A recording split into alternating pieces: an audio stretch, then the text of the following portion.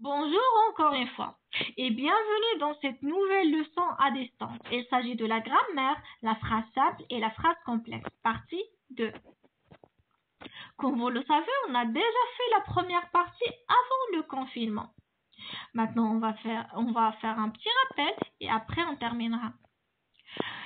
Pour cela, il y a une petite fille qui vous pose une question. Connais-tu la différence entre une phrase simple et une phrase complexe vous savez déjà que c'était le premier ou bien l'objectif principal de la première partie. C'est de savoir faire la différence entre les deux types de phrases. Pour la réponse, il y a une, voilà, un schéma qui vous explique. La phrase peut être simple ou complexe. Elle est simple lorsqu'il y a un seul verbe conjugué, tandis qu'il est complexe lorsqu'il y a plusieurs verbes conjugués. Lorsque la phrase contient un seul verbe conjugué, c'est-à-dire qu'il contient une seule proposition. Et lorsqu'il contient plusieurs verbes conjugués, alors il y a plusieurs propositions. Maintenant, la question qui se pose, qu'est-ce qu'une proposition? Une proposition est un groupe de mots organisés autour d'un verbe conjugué. Faites attention, c'est un verbe conjugué. S'il vous plaît, s'il vous plaît il y a une grande différence entre une proposition et une préposition. Alors faites attention s'il vous plaît. Pour vous simplifier les choses plus que ça, il y a deux exemples ici.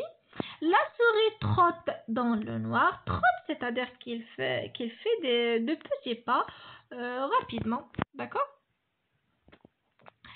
Euh, la deuxième phrase, la souris longtemps et file loin. Ici, la souris, vous, connaissez la souris, c'est un animal ici.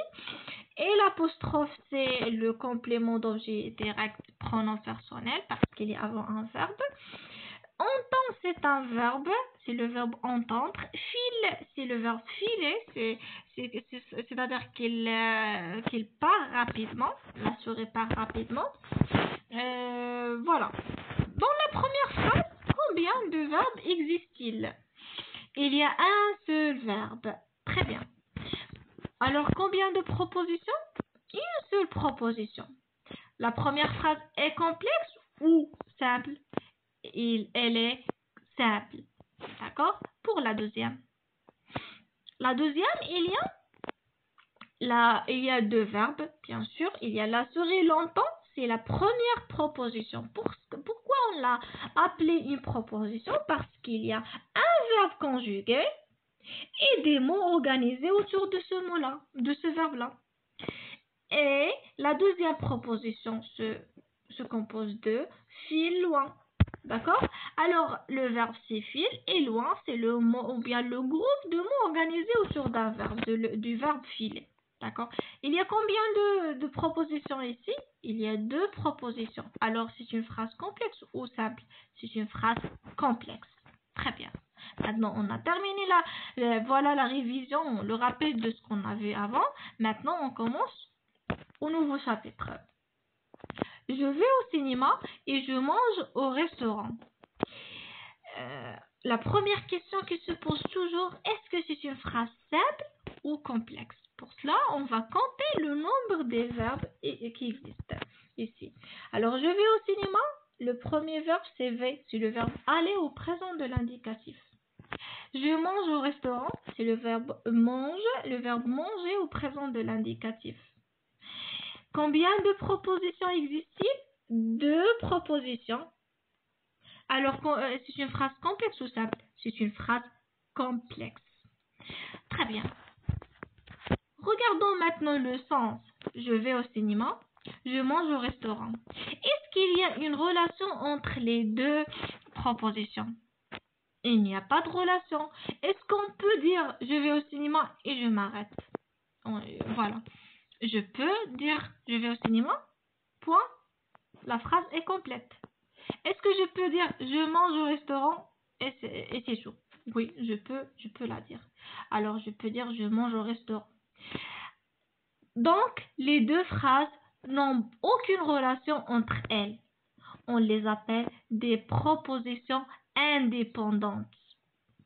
Indépendantes, c'est le contraire de dépendante. Dépendante, c'est lorsqu'il y a une relation. C'est-à-dire que une proposition a une relation avec l'autre. Et indépendante, c'est notre exemple ici, c'est lorsqu'il n'y a aucune relation entre les deux propositions. D'accord? Maintenant, en général, une phrase peut contenir plusieurs propositions, comme notre exemple. Deux propositions, c'est-à-dire plusieurs. Reliées entre elles par une conjonction de coordination. Une conjonction de coordination, c'est comme ici, et ou séparées par un signe de ponctuation. Point, euh, virgule, euh, euh, pardon, virgule, ou point virgule, ou deux points.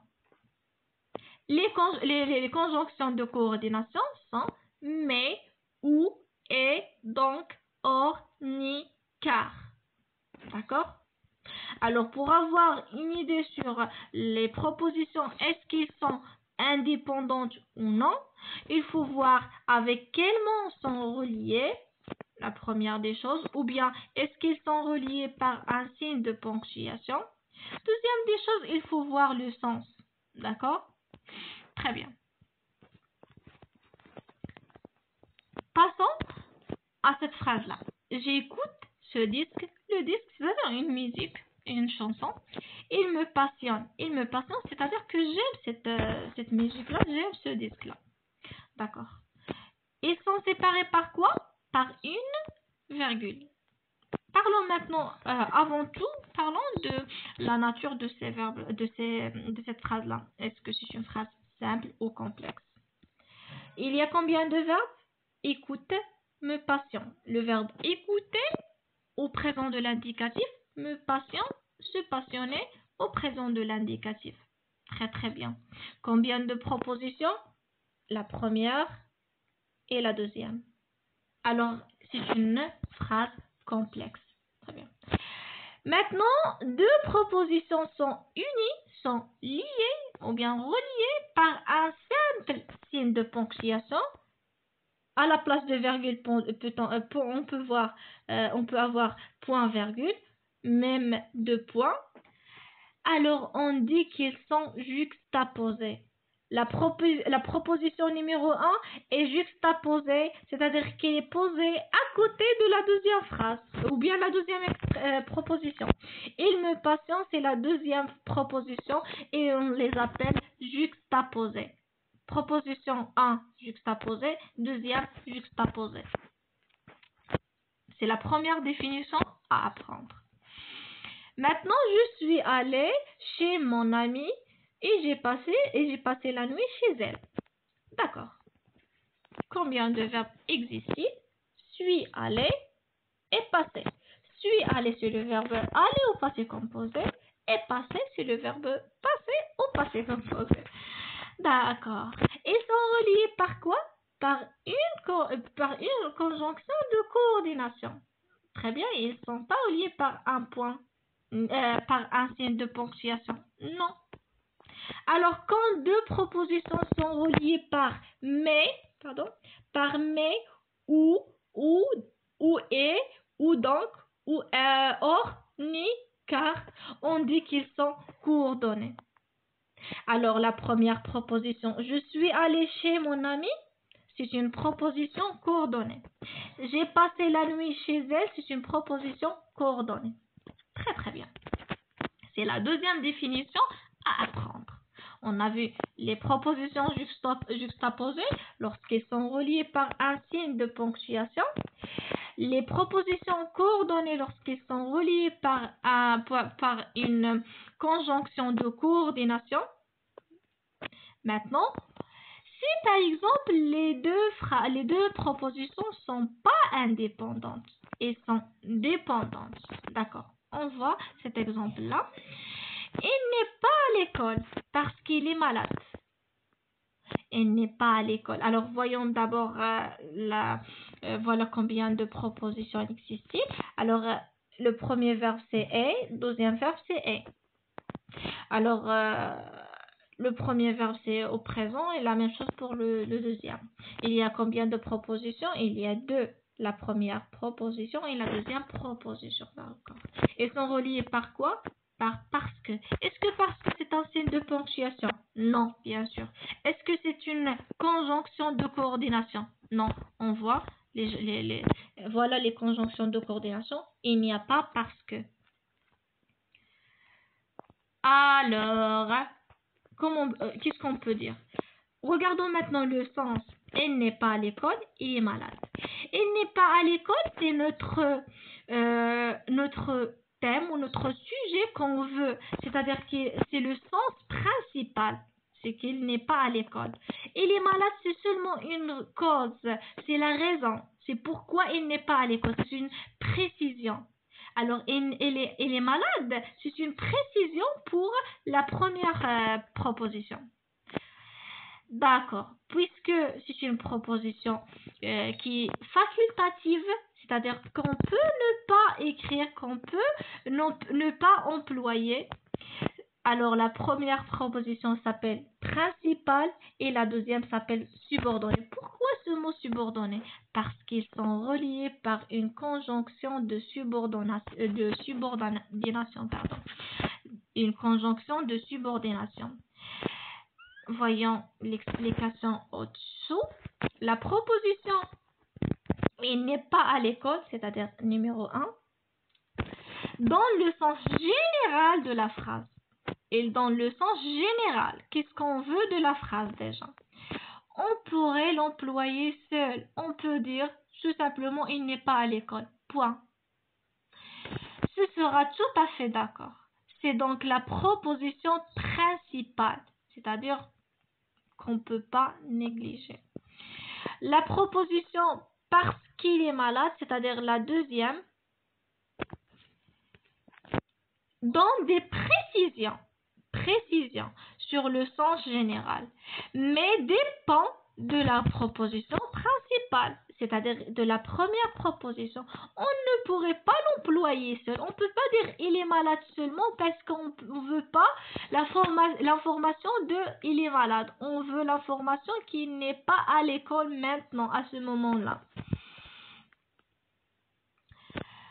Euh, d'accord. Alors, c'est donc la proposition subordonnée. Pourquoi subordonnée? Parce qu'il est précédé par une conjonction de subordination. D'accord. En général, les propositions subordonnées et principales.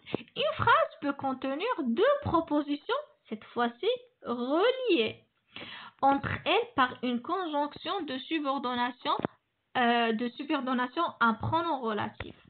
Dans ce cas-là, une de ces propositions ou bien une des deux propositions dirige le sens, dirige, c'est-à-dire la première comme la première, il n'est pas à l'école, il dirige le sens. Euh, il pourrait exister sans l'autre proposition, c'est-à-dire on peut l'employer sans utiliser la deuxième. On l'appelle la proposition principale.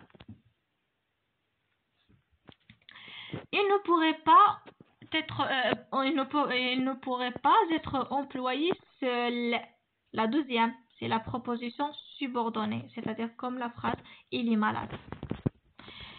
Maintenant, pour vous donner toutes les conjonctions de, de subordination plus ou moins, il y a ce petit résumé. Il y a, par exemple, la première conjonction, c'est que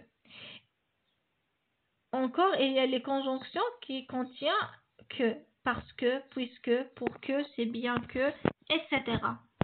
D'autres conjonctions de subordination sont comme, euh, quand et si. D'accord? Pour euh, avoir une idée générale, pour faire un résumé général, pour euh, pouvoir voilà, différencier entre les, les, les propositions subordonnées et les propositions principales. Euh, on a vu que, regardons ici, que les, phrases ou bien les propositions euh, subordonnées principales peuvent être euh, séparées par une conjonction de subordination ou bien par un pronom relatif. Alors il faut savoir qu'est-ce qu'un pronom relatif ou bien quels sont les pronoms relatifs qui existent. Ici, il y a les principaux, c'est sont qui, que, quoi, dans, où. Et les relatifs composés, les pronoms relatifs composés, c'est-à-dire qu'ils se composent de deux participes plus ou moins, lequel, et se compose de le et quel, lequel, laquelle pour féminin, lesquels pour plus, euh, féminin pour euh, pluriel masculin, lesquels pour euh, pluriel, pluriel féminin. D'accord? La même chose. Maintenant, on passe à un grand résumé, ce qu'il faut savoir, ce qu'il faut apprendre par cœur. Une phrase peut être complexe ou simple. Il est complexe lorsqu'il y a plusieurs verbes conjugués, c'est-à-dire plusieurs propositions. Il est simple lorsqu'il y a un seul verbe conjugué, c'est-à-dire une seule proposition. Maintenant, les propositions sont séparées. Lorsqu'ils sont séparés par des signes de ponctuation, virgule, point, virgule, deux points, ils s'appellent, ou bien on les appelle deux propositions juxtaposées. Lorsqu'il y a entre les deux propositions des conjonctions de coordination, on les appelle deux propositions coordonnées. D'accord? Lorsqu'il y a une conjonction ou bien ils sont séparés par des conjonctions de subordination, on appelle une proposition principale et l'autre proposition subordonnée. Maintenant, il y a beaucoup d'informations plus ou moins qui sont nouvelles. Il faut pratiquer, il faut apprendre les règles par cœur et on va faire des exercices et voilà des exercices pour euh, et des activités pour voilà enrichir vos capacités ou bien euh, augmenter vos capacités à savoir euh, et à différencier entre tous les termes. Et maintenant, à la prochaine.